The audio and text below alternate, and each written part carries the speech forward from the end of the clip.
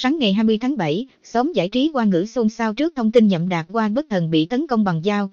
Cụ thể, khi nhậm đạt qua đang giao lưu trong một sự khiếu nại ở Quảng Đông, Trung Quốc, một người nam nhi lạ mặt lao lên sân khấu, dùng dao đâm vào bụng nam diễn viên. Bị tấn công bất thần, nhậm đạt qua dội dùng tay đỡ và chạy trốn, nhưng người nam nhi lạ mặt vẫn đuổi theo đâm tới tấp. Nhiều nhân viên bình an đã phải lao tới ngăn cản và không chế kẻ côn đồ để cứu vãn nhậm đạt qua khỏi nguy hiểm. Liếc nhậm đạt qua bất thần bị tấn công tại sự khiếu nại. Thủ phạm hiện đã bị cảnh sát tóm giữ. Theo chia sẻ của quản lý nhậm đạt qua, y có tài năng mắc vấn đề về thần kinh.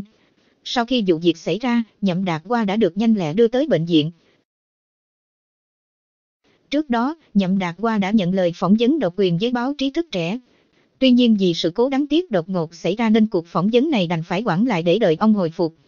Phía nhậm đạt qua cho biết hiện tại vẫn đang bận xử lý vụ việc và hẹn sẽ thông báo cụ thể cho chúng tôi sau khi mọi chuyện ổn thỏa.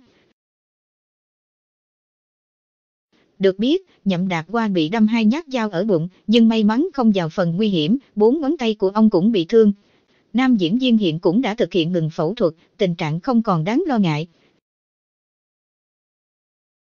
Hình ảnh nhậm đạt qua được đưa tới bệnh viện. Trả lời trí thức trẻ, quản lý của nhậm đạt qua cho hay tình hình hiện tại của nam diễn viên đã ổn, không còn gì lo ngại. Thủ phạm đâm nhậm đạt qua là một kẻ bị tâm thần. Nhậm Đạt Qua không chỉ là tài tử nhiều người biết đến mà còn là một ông trùng có thế lực ở Hong Công.